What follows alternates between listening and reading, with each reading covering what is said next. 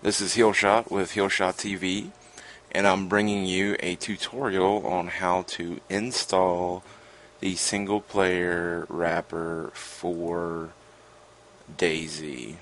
Okay, guys? Alright. The first thing we're going to do is I'm going to have a link in the description of this video and on YouTube video, since I'm doing this live, and I'm going to show you how to install the single player wrapper for DayZ. First things first, you download the file, and you get a nice little zip file. Just double click that. Da da da. Double click it. Once it's open, you'll see there's two files in there. So what we're going to do is we're going to right click that, your zip file, and we're going to go ahead and go to extract here. It's going to take a couple minutes, and then you should have two files. Alright? We're going to take those two files. I'm going to open this up so we can see the, the name of the files. We have dayz underscore sp dot generis dot pbo. Then we have dayz sp underscore readme. Alright? Now, once you have those all taken care of, what we're going to do is we're going to open up program files or wherever you're at, wherever your Steam's located. So we're going to find Steam real quick. Alright. And we have Steam. Once we open up Steam, we're going to go to Steam Apps. And this is for the Steam version, so that'll be in the description as well. We're going to open up Steam Apps. Then we're going to go to our common file. Once we go to common, we're going to go to ARMA 2 Operation Arrowhead. We're going to open that up. And this is all under the um, assumption that you already have DayZ installed. Alright? Once you get there, you're going to go to your at DayZ folder. You're going to open that up. Now you're going to see you have rsync, add-ons, blah, blah, blah, blah. We're going to open up add-ons. That's everything that DayZ has. So that's just to make sure you have DayZ installed. Now, to install what we need to install, we need to go over here to missions. Um, we're going to double click missions. We're going to open that up. And now you see over here in missions, I have added in dayz underscore sp dot pbo. Then we have dayz sp underscore readme. You want to put all that in here. Alright? Once you do that, we're going to go ahead and close this. And what you're going to do is you need to launch DayZ. Alright? I'm going to show you two methods real quick. Um, what we're going to do is we're going to use a 6 launcher first. So we're going to take our 6 launcher, bring it out. Going to double click on 6 launcher. Alright?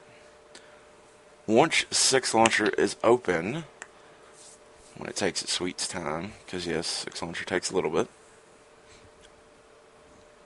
we'll go ahead and verify.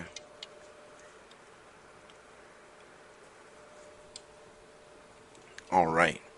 Now, when this comes up, you're going to go ahead and hit verify. Alright. Da da da da. It's going to do its little verifying bit.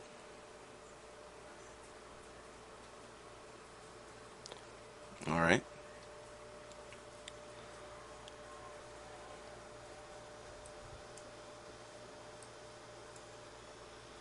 Now, what we're going to do, instead of clicking a server and finding one, we're just going to hit the launch button. Okay, guys? We'll hit launch.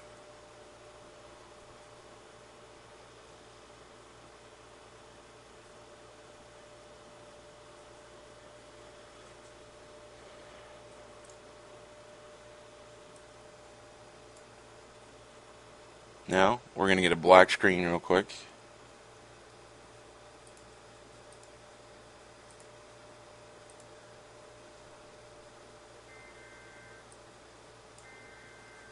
Alright, just give it a few seconds, guys. I'm doing this live. So once that comes up, bum, bum, bum, it's going to go ahead and go in. Once it's in, just going to take a little bit. Once you're in.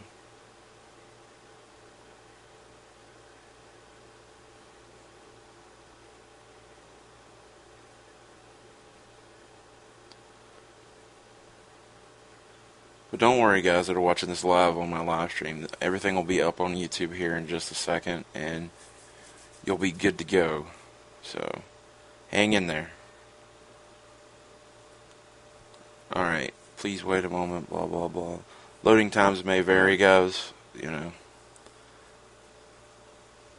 Alright, once that is open, the first thing you're going to do is you're going to look over here at the Arma 2 beta expansion at DayZ, You want to make sure that's up. Once that is up, you're going to go over here and hit single player. Once you hit single player, you want to go to over here where it says scenarios, okay? Click scenarios, and then we're going to click DayZ SP, alright? There you go. Now, what we're going to do is we're going to go ahead and hit, you know, like, alright, for me, it's going to be resume because I've already got a DayZ SP going. So I'm going to hit resume, and then I'm going to show you the other cool parts of this, okay? Alright, it's going to load up. Loady up.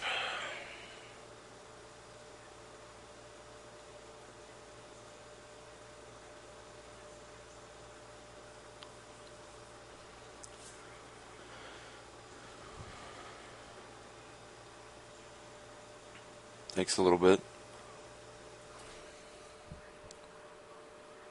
Alrighty. Loady, loady, loady, rawhide.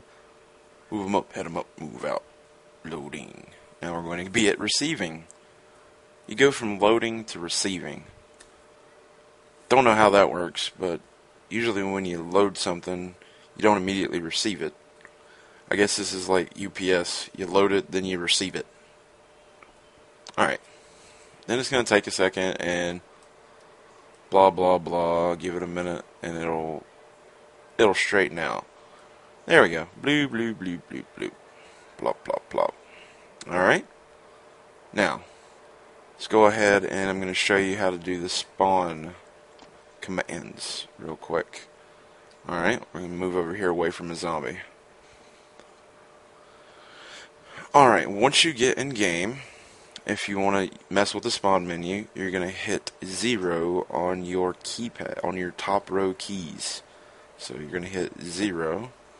Then you're going to see a thing pop up. You want to go all the way down to radio.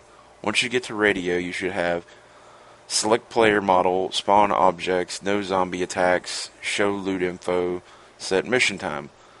Right now, as far as I know, when you hit no zombie attacks, I don't think it works. So what we're going to do is we're going to go back to that menu and we're going to go to 7. 7 will then bring up a contextual menu so that way if you want to get practice with a certain weapon or anything like that, you can do that. And also, the brand new bear traps are in. So you can actually just spawn you a bear trap, like so, if you want to get used to using it. You're going to hit escape. Anytime you want to exit out of that menu, you want to hit escape. So we're going to take that and pick it up. Once we pick it up, we're going to put it over here. And this is how you're going to be able to use a bear trap. So we're going to randomly place it somewhere right now. So we're going to just do that. Alright.